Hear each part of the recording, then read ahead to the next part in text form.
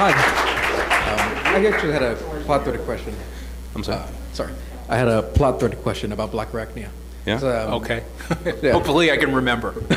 uh, I was wondering, what would happen after, because she met the, like, uh, animals and all that at the end of the episode where she and Wasp were transported?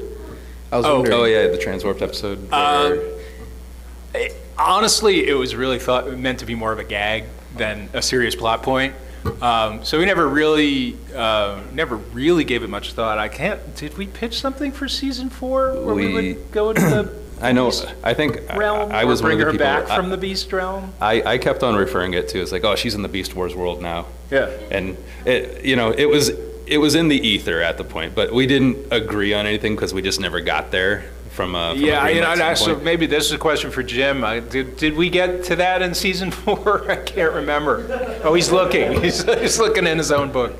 Because I, I, I didn't think we wanted to toss Blackarachnia aside entirely, but I can't remember whether we had a story that, Not that you shared. not that I shared with you. So we probably could, hadn't figured it out yet. Okay. And then, uh, one more question. Um, would she have ever turned back to Elita-1 or no?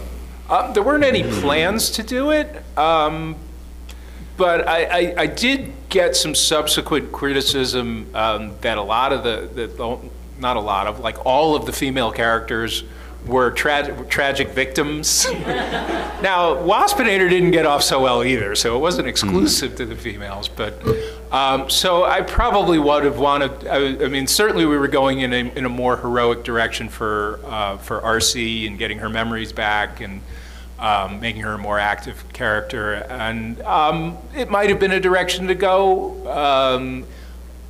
That's the sort of thing where if Hasbro came to us and said, you know, I think we can sell a lot of Elita-1 figures, we would have found a way to do it. Thank you. No problem.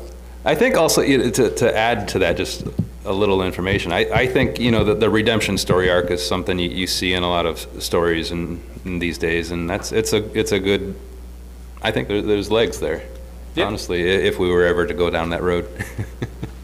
Yeah, you would, you, would- you, I mean, you wanted to believe, certainly Optimus Prime believed that she was uh, redeemable, so he- he can't be wrong, right?